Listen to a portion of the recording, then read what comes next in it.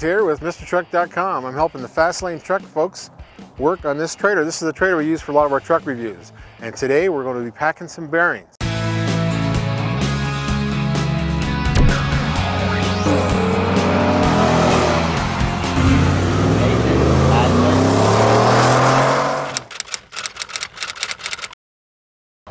Okay, for working on your trailer, this trailer gets used a lot. We do a lot of extreme brake tests, so uh, checking the brakes, checking the bearings is very important to us, as would be anybody. Normally you'd want to repack your bearings, say once a year. You want to check your brakes a little more often than that. Uh, depends on how often you use your trailer. Now you see in this trailer, this is a Logan Coach horse trailer and it's a torsion axle, so the axles will hang. So I've got it on a ramp, just a regular ramp you'd use to change oil in your car, whatever you want to do. And by driving over the ramp, it lifts it up with me having to run a jack. This is how I like to do it. Now, if you have a shackle spring system with an equalizer in the middle, you may be able to use this on a small trailer, and a lot of trailers you'll just have to use a jack. But this is what's working for us. I already got the tire off, the wheel off. Also, when you're doing this, check your wiring. Your wiring is probably the biggest problem there is on trailers, making sure everything works on it. You want to make sure nothing's disconnected or hanging or corrosion there. You also check the connection inside here where the electricity goes to the brake. These are electric brakes. So it actually has a magnet that rotates in the hub and that actually activates your brake shoes. So you want to make sure all the wiring is, is in great shape on these while you're taking it apart and looking at it. You can inspect everything, inspect your bearings, inspect your brake pads. Now first I got to take the hub off, of course. Some are easier than others.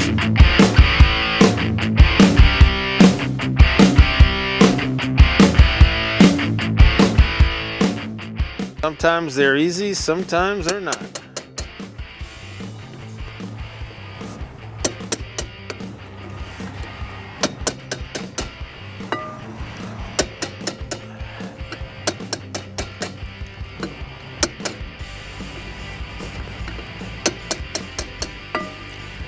It's just a little hubcap.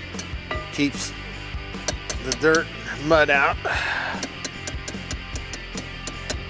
Now, grab my pan. You want to have some kind of a pan that you're going to throw the bearings in and it's nice to have it there so when your cap comes off, it doesn't go on the dirt because you usually forget what you're doing. But anyway, now you've got the nut, a cotter key, and there's a washer, and there's the bearing. So you've got to take all that off to get to it. And we'll take my gloves off because this is going to get greasy. This is, you want a lot of rags for this job because it is a dirty job. This cotter key, now this one uh, has a, is drilled out for a greaser, so your cotter key doesn't go to the center, it goes kind of to the side. A little harder to get out. This is a, a Lippert axle on this Logan coach. I've worked with a lot of Dexter axles. They're very similar.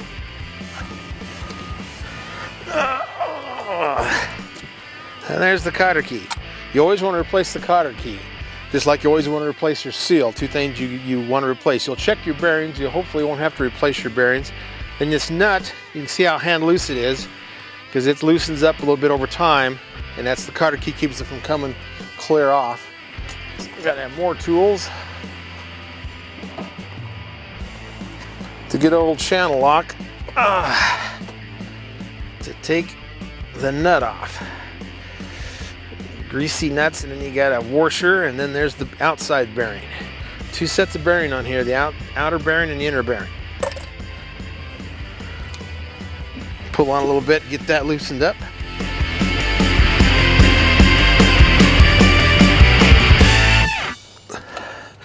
And that's why it's important to have that pan down there because stuff will fall out on you.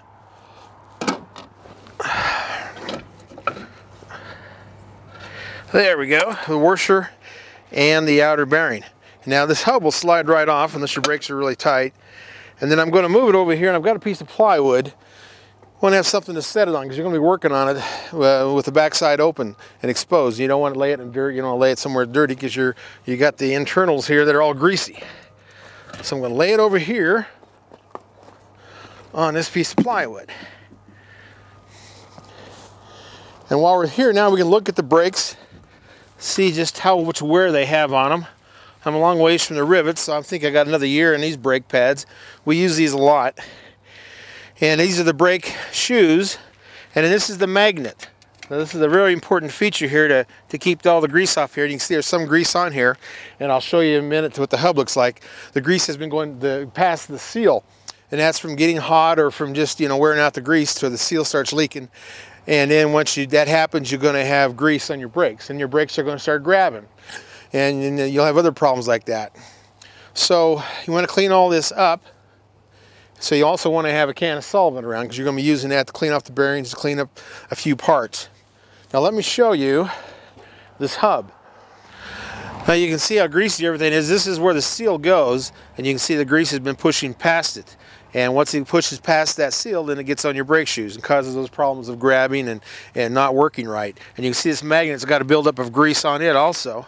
So we want to clean it back. And the thing, this magnet rides in your hub and that's what activates your brakes. That's where the connection is made because of course your wire can't go round and round. So it goes to the magnet, the signal to uh, engage your brakes. So we'll clean this up, but also as you're doing this, you'll want to have a straight edge, a, a carpenter square, whatever you have, and put that across your magnet because you won't want it dished out. That's the way they'll wear. They'll wear on the edges. Now this has got some wear. It's not perfectly level, but it's not in bad shape. Not enough to replace it. But that's uh, that's an important part. That's what actually activates things. So you want to clean this off. Okay, in the hub, after you set it down and you're you're inspecting it, you can see in the middle there the, how much grease has gotten past that seal. So that could be the seal shot or it could be just from the heat getting too hot from the extreme braking that we do. And then the, the grease turns into like water, much thinner, and it runs past the, the seal. And then that gets what spreads out on your brakes. It's all enclosed in there, so it gets trapped. So then we know we've got to replace this seal. We'll inspect the bearings. But also when you're in here, you look at the, the drum. This is the drum. This is where the brake shoes actually ride.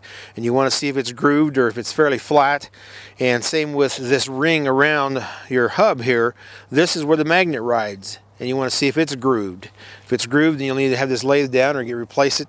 But this one actually is in good shape. It hasn't really excessively grooved any part of it, where the magnet rides or where the, the shoe, the drum, uh, the brake shoe rides. Okay, next thing we'll do, we'll pull this seal out. Now this is a seal puller. It's a cheap tool. I think I paid 17 bucks for this. If you're going to do these quite often, you want to get some tools. And this is how you pull that seal out. Now, you can also take a punch and punch the bearing through the seal, but then you ruin the bearing because you'll bend the cage on the, on the actual uh, the bearing. So that's if you're planning on getting new bearings and it won't matter, you'll just punch it out. But if you are going to try to repack these, these bearings, you'll want to have a tool like this. And it just goes underneath the lip of the seal. And hopefully this will work out. It takes quite a bit of leverage on a big brake drum like this. I'm going to have to push it down and hold it as I do this. And bingo, it came out. If you can see that, there's the old seal. And of course it ruins it taking it out, but you never want to reuse the seal. You always want to replace that. And then there's the bearing. So if you can see in there, I'm going to pull a bearing out. And then we're going to clean this off too, and we're going to clean the old grease out as much as we can get. And so now I have all the parts that I need to clean in my little bucket and I'm going to put some solvent in that. You don't want to use gasoline because you know how dangerous gasoline is. It's not what you want to use. You'll want to use a solvent to clean off the bearings. Now, you know, I've got my brush, I've got my solvent. I'm going to clean all this off and you want to use some kind of steel container. Your plastic container, I mean solvent, a lot of those things will eat right through plastic. So, you know, you get a good container because you don't want to be any than you have to. And this is such a greasy mess doing bearings. So basically I'm trying to clean off the thick stuff off these bearings. And they are dirty. Now you'll hear me talking about China a lot during this because most all your bearings and all your traders are Chinese, just like your wiring, just like your lights. Now, Logan Coach Soda did give me American Goodyear Marathon tires, which I'm happy, where a lot of your trader tires are made in China also. Okay, these are the bearings as I'm cleaning them. This is the big bearing, this is the inner bearing, and this is the outer bearing. So that's the two different sizes, and that's how they slide on there. And, you know, that's what carries the weight is these bearings. A little different than what a pickup truck is. If you do a lot of braking, you're going to get them hot, and that uh, grease will get liquefied. And there's a problem. Look at that, made in China. It's unreal. In this colder weather, it's kind of hard to get all this thick, heavy grease out.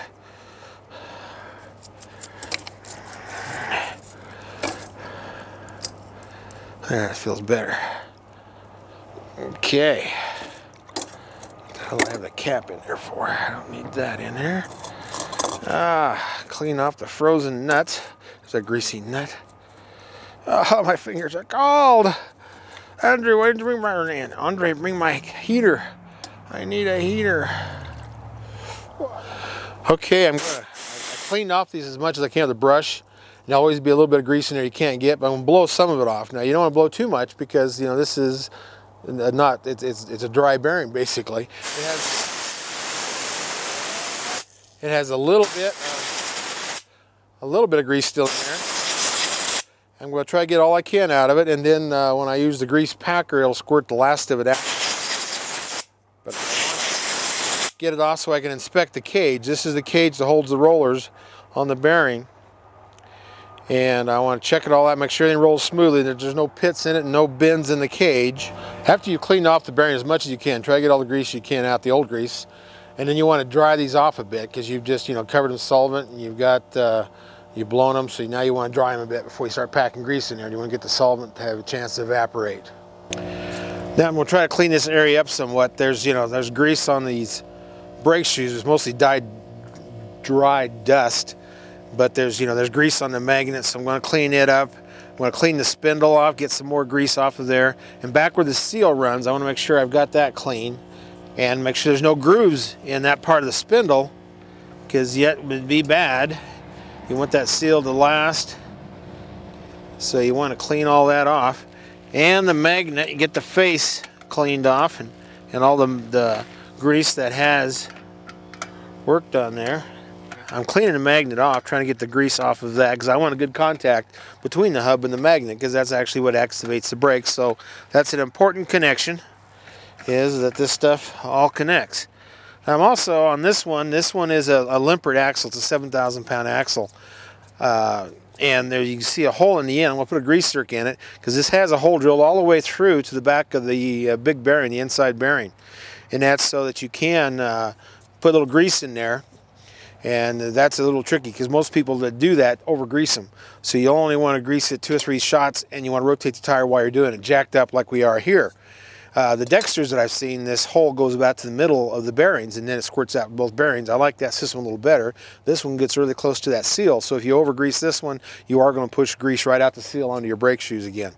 So, you know, for most people, you're better off to just hand pack or, or pack your bearings and not use the grease zerks.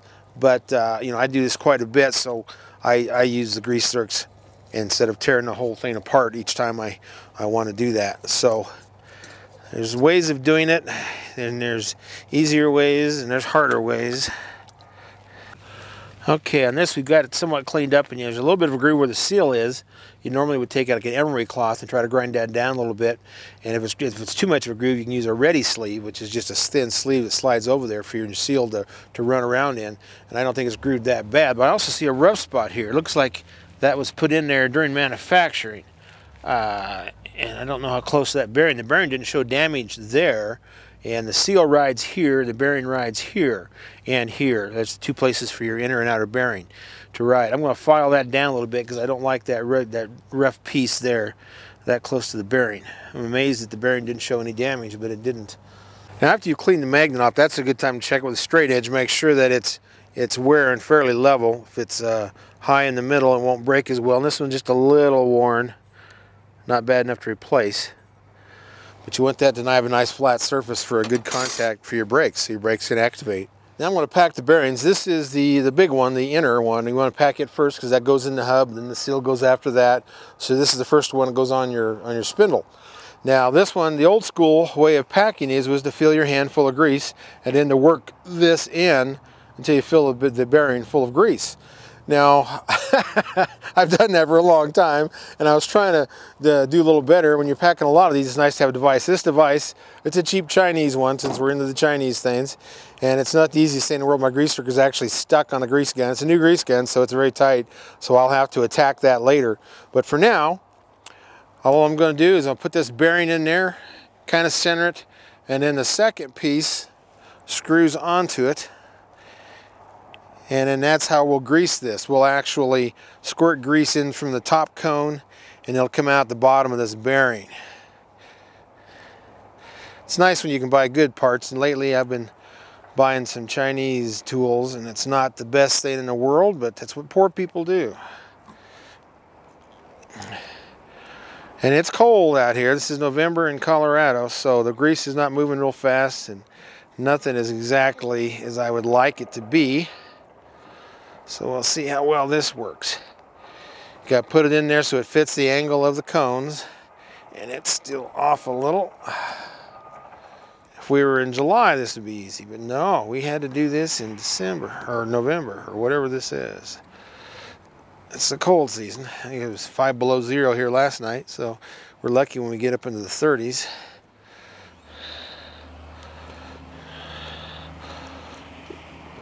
So all you people that want to move here to Colorado, make sure you come sometime in the winter and check it out before you buy real estate. And of course it's cold, so it's not one to pump too well. The whole theory is to get the grease to go from the top cone through the bearing that come out the bottom.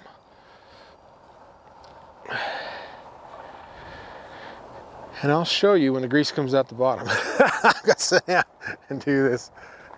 Now you also got to clean the hub out. And you see all the grease in there. But it's really important is to get it out enough so you can inspect the race. The race is the track that your bearing rides in inside there and it's shaped like your bearing and so you got to make sure you can get it cleaned off and feel it and of course where your seal is going to go you want that cleaned off as well so that the seal will go back in there and do its job but I'm checking the race and it feels good I don't feel notches or, or lines in that no wear grooves so uh, that that verifies what the bearing looked like it was in good shape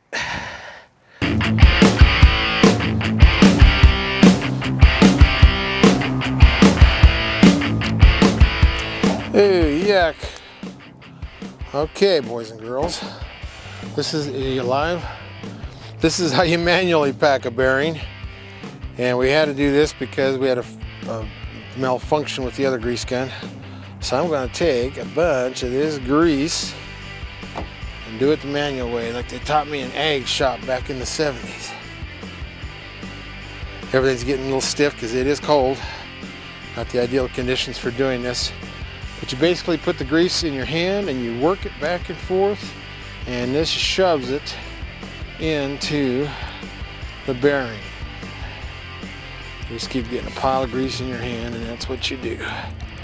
You force it in, you're, you're actually spooning it in from the high side so it goes out the narrow side. And that's what you have to keep doing. You have to keep using that grease and pushing it through manually. A lot of fun and a very dirty job. Isn't there a guy who does dirty jobs out there somewhere? What's his name? Seemed like he had a show on the Discovery Channel. And you can kind of see the grease coming through it. And that's what we want it to do. We want it to keep forcing itself through the bearing all the way through. This is how you manually pack a bearing. What I was trying to avoid. And I could see the grease, you can see it coming through. And either way, the mechanical system or the manual, this actually helps push out the rest of the old grease that you couldn't get to. So you have nothing but the good grease on your rollers, your cone of your bearing.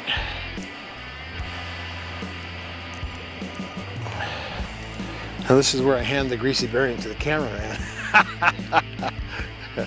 yeah, it is. Greasy, greasy gopher guts. Yeah. And I can see that it's in there.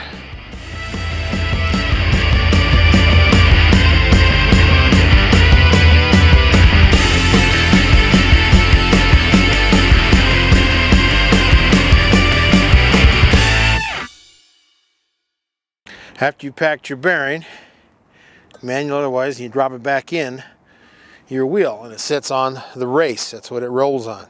And now I'll put the seal in next. Use a little bit of grease on the rubber lip of this seal. This is a double lip. This is a good seal. I just want to get that in there. So everything's lube when it goes in there and slides over to your spindle of your axle. And now I'm going to center that and I just got to pound that down.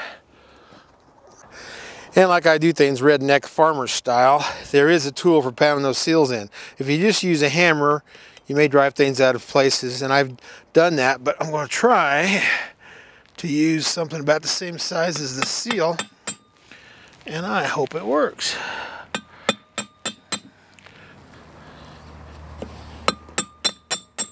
It looks like it's driving it in there. Yep, I think my cheap seal driver is gonna work.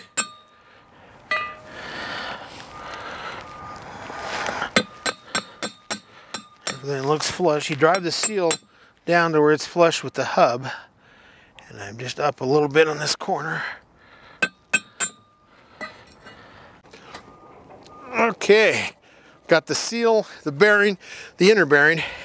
Now I gently slide it on the hub because I'm also having to force that new seal onto the spindle and do not want to rip anything.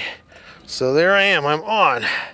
Now I just have the outer bearing to put on, the washer, the nut, and the, uh, the pencil. Another thing I'm going to do while we're here, I'm going to put a grease zerk on this one because that's how I like to grease these between the big jobs that we're doing now. So I'm to put that grease zerk on there and then every once in a while I can pull that cap and shoot a few squirts of grease while I rotate the tire. So now we're to pack, manually pack the little bearing. Now I've hand packed the outer bearing. I'll fit it into its race and got the washer and the greasy nut and the cotter key which I'll put on a little bit. It's a little tricky when it's this cold because I don't want these bearings too tight. I don't want them too loose. So they're going to feel tighter than they really are just because the grease is stiff and it's cold. So what we'll do is we'll have to come back to this on a warm day and readjust this nut. See, it feels pretty stiff and I'm not on there very tight at all. So let me get my channel locks and get some of this grease off my hands so I can actually run it. But uh, that's all you need or a giant crescent wrench. But you're not really cranking this down tight. You're going to get it to where it's snug and you'll back it off a hole. It has a cotter key hole in there that holds the nut in place. So this gets the bearings going so I know I'm up there pretty tight. Oh. Do I have enough tools? So now I'm putting I'm putting the uh, cotter key back in there. I've the nut up, so I hope I'm not too loose, not too tight we will watch these and we'll readjust them as the weather warms up. And that's the right size cotter key. Just got to get it to force its way down. Some people fill this full of grease. I don't know that you necessarily need that. I don't know that it will flow out of the cap, but I don't mess with that. And this is a regular cap. You can also put a cap on here that has a rubber nipple on if you want to do that grease job. You can just pop the nipple out. But I'm just going to pound this puppy back on and we're going to call this one good. Oh, and you can never get these on straight as they don't go on straight. And because it's shape, it's hard to get a driver on it.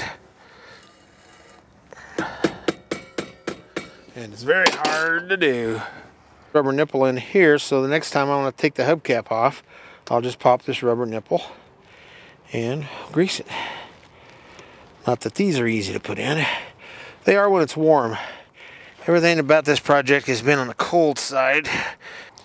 Well, we're basically done. We just did half this trailer. I did half of this trailer three months ago, the other half, and all I gotta do is slide the wheel on and we're set. This is what we do so that we can have a good, safe trailer that accurately tests these trailers on the FastLaneTruck.com and MrTruck.com.